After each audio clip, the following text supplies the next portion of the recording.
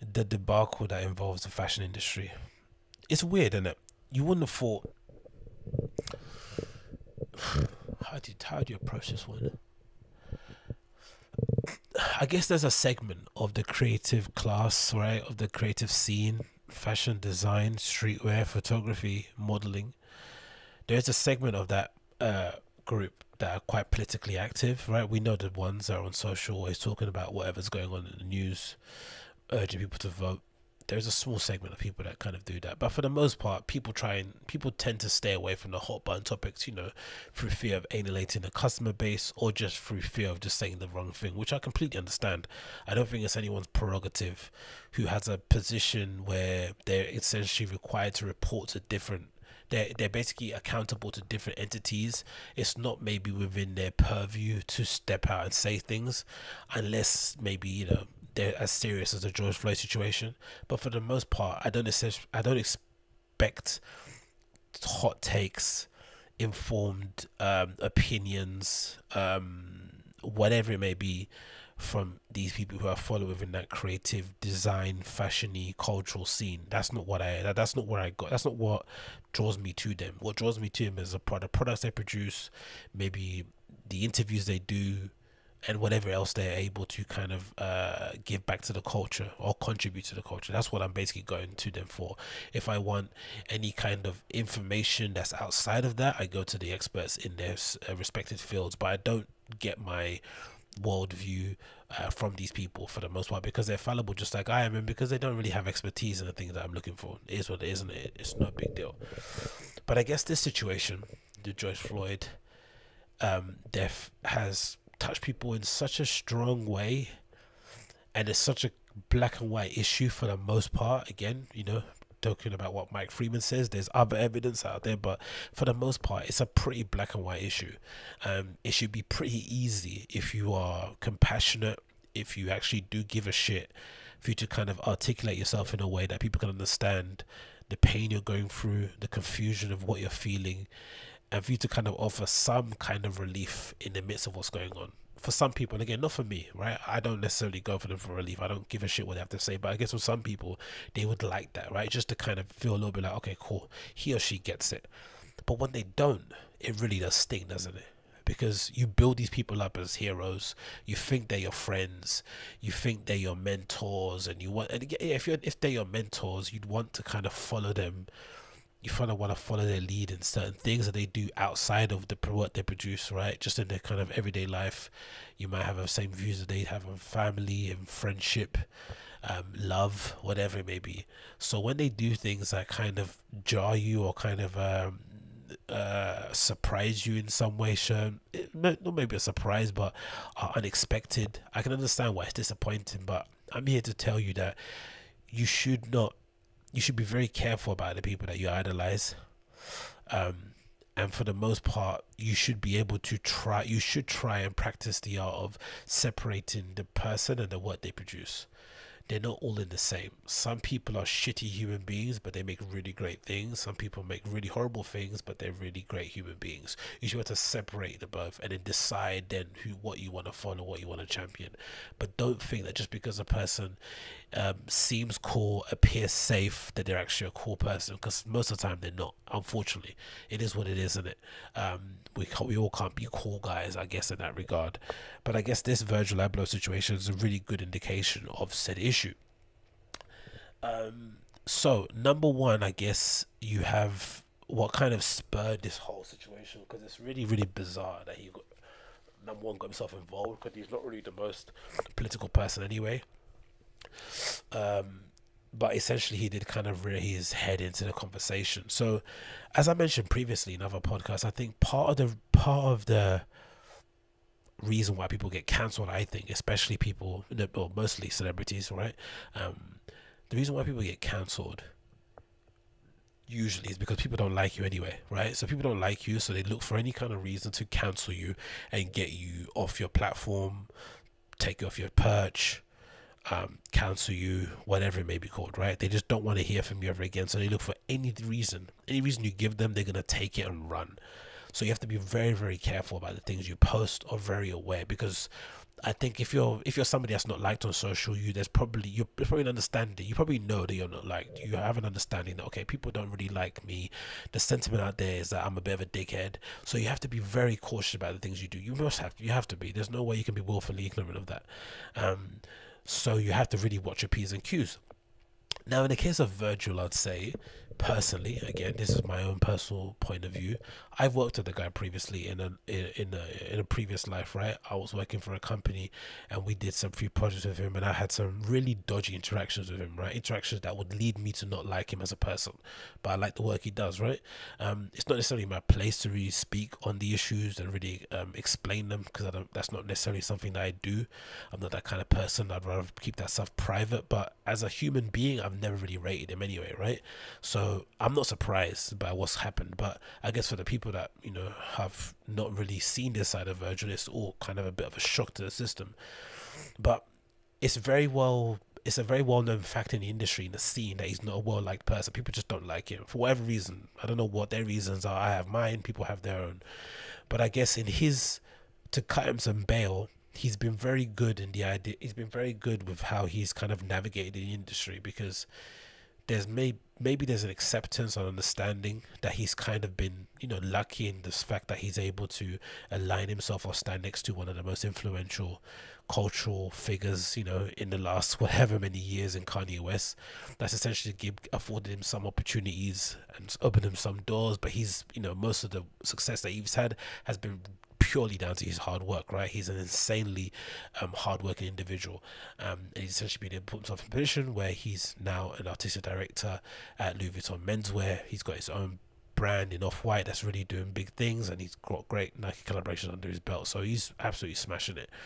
But I think along his journey, he has also understood or come to realization that you know most of the way most of the reason why he's got to where he's got to is because of his network. As most creative people out there will know a lot of the reasons for success of some rather than others is mostly due to you know timing and the people that are around you. They can really help you navigate um, up the ranks and get you where you need to get to but he's been very smart in that he's surrounded himself with really cool, influential people who have kind of insulated him, I'd say, from some level of criticism, but also helped him to kind of establish himself in the scene, which has been great. I think that's something that you definitely can't um, say is a negative. And for the people that are closest to him, you also have to be fair to Virgil and say he does provide opportunities. To everyone that is friends or is associated with him, he's given chances to, giving them looks, shouting them out on Instagram. You know, the kind of stuff that doesn't really seem, it seems inconsequential. It doesn't seem that important. But if you're involved in that scene and you want to get around and you want to get up, up and about and get some exposure, if he's able to, you know, to at you in a story, put you in a post, comment on something you did on Instagram, it does go a long way in terms of how you're perceived in the industry. Um, and he's been very smart and very generous with um, his uh, clout in that respect, right? He's out there giving people clout tokens, which is very, very cool thing to do. But aside from that, you know, there's not much else to write about in it when it comes to his product and how he conducts himself, the things he says in the interviews, the fact that he loves to do this, you know, word soup thing where he tries to, in you know, where he, where you can explain something in one paragraph, he takes up four you know, uses big words just to sound more intelligent. All these really weird things that make you think like, what is this guy hiding? Who's he trying to be instead of what is he? Who is he really? Right? It just kind of makes you a bit confused. So I guess with this, I guess um, in an effort to to look like he's a good guy, right, which is always a bad thing to do, um, he decided to share a screenshot of this post that he of somebody I guess shared with him where. Um, it looks like he's only donated fifty dollars to the fund uh, to the fund that's supporting kids that are getting bailed out during the um, the riots that are happening at the moment. So this is a screenshot post on Twitter and it said if Virgil cared about black community, he would have donated more than fifty dollars. And the screenshot says the following here is a screenshot from Virgil. It says the Miami community in the crazy inspired. I'm crazy inspired for kids in the streets that needed bail funds for George Floyd protest. And it said he sent fifty pounds to the Fem Power, I think, organization, and he says he's matching the local energy from the list of people there. Now, if you look, if you're honest, even again, someone that's not a fan of the guy, what he's doing is is basically sharing a post that he's been obviously tagged in or sent, you know, someone maybe DM'd him, and he's matching whatever the person donated. So I'm assuming it's some kind of, you know, hey, we're gonna make this fun for people that have been protesting to support them. Maybe it's something that's specifically uh, um, a fund specifically set up for uh, black kids who have been protesting, black females, whatever it is, right? Someone donated fifty dollars, he matches it, and then he shares it in, in hopes of other friends do the same. But the optics of it look really nuts because I think early in the day he made a post where he basically bemoaned the fact that people were protesting and rioting in the streets and breaking up stores and smashing merchandise and shit, right? So that basically set people up and made them really get angry. So let me see if I can find the post here. I think this is the one in it, right? Da, da, da, da, da. And then the other one, uh, Sean Wotherspoon. So yeah, so I guess before people saw that post of fifty dollars, they got really angry because he got really upset when he saw images of his shop RSVP, which I'm I'm not sure if he still owns or if he's part of it or if he just you know uh, they're they're just family, and of course round two the store owned by Sean Wotherspoon, you know famous for the Nike Air Max One ninety seven collaboration, so he got on his high horse about you know kids should hide hide their head in shame or something. Let me see if I can find a post and read it because it was fucking ludicrous. So this is his post, right?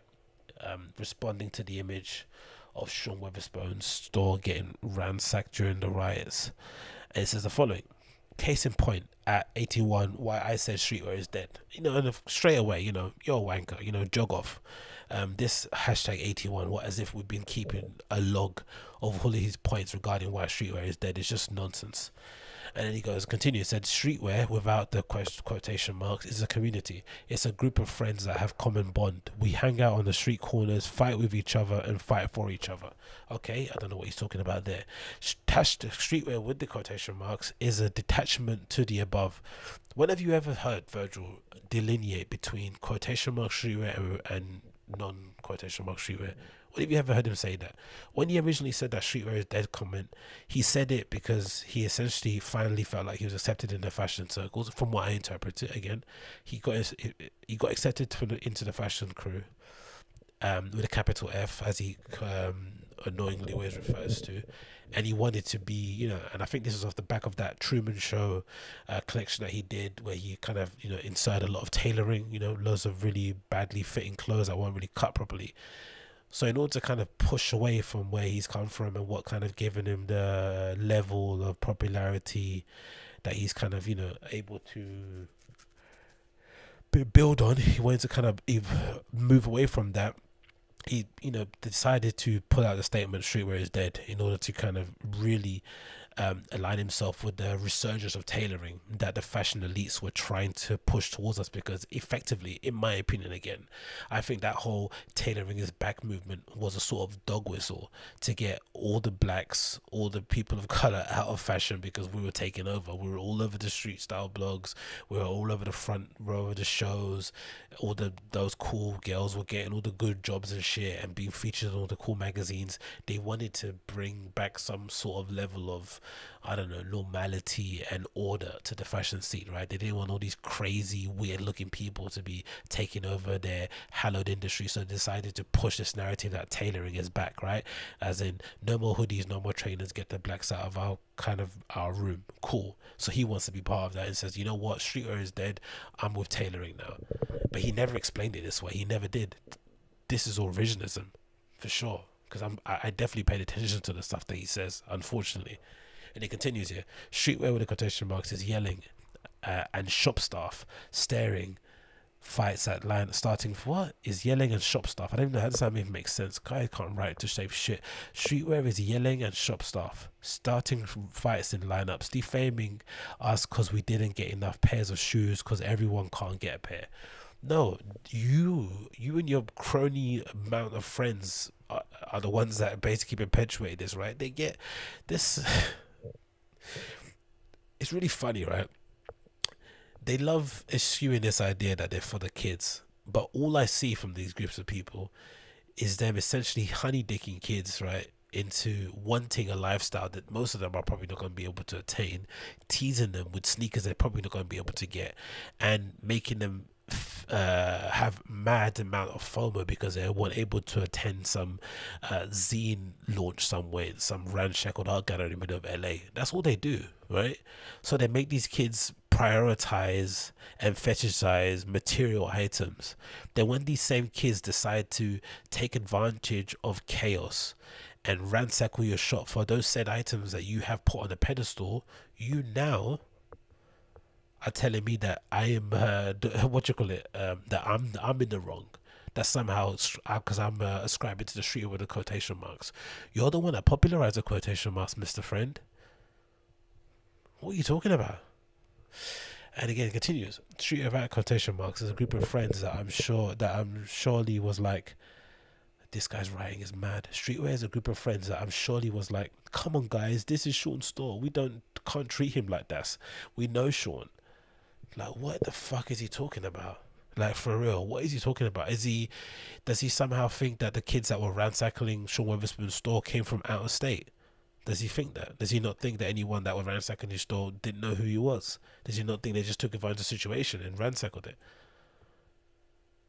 And he's talking uh, uh about Sean Wotherspoon as if they're like boys are best friends. Are you best friends because you say hi to him when you go to Bread and Bar or to some showroom somewhere? You're not friends. Streetwear again is a culture. Streetwear with the quotation marks is a commodity. Streetwear with the quotation marks is the need. As I need this T-shirt or pairs of shoes by any means necessary. But you created that by any means necessary motif. What are you like? This guy is insane. So anyway, that that was a statement that he made that made people get a bit angry. So I guess the reply from Sean Wotherspoon is what really set people off because Sean Wotherspoon himself wasn't even that pissed off about the his store getting right. Of course, I'm sure I'm sure privately behind closed doors he must be of you know really livid about what's going on. But in terms of the context of the situation and the severity of the issue at hand, losing a pair of shoes or losing a few pairs of shoes and loads of countless amounts of you know um, garments that are probably you know priceless isn't necessarily you know you can't compare that to a human life. And if he's and if this is a moment where systemic change is going to be enacted. Wouldn't you want to be on a, I wouldn't say right side of history, but what would you much rather? Have, you know, all your stock in place or be able to change things for the better so that we don't ever have another George Floyd situation happen again? I know what option I'll choose. So he decides to reply and he made a pretty um, salient point actually, considering how a lot of people on the interwebs don't seem to like Sean Wotherspoon either, which you know goes for maybe a deeper issue about who people who people they actually like. Well, I can't, I can't find it. Oh, someone must his take.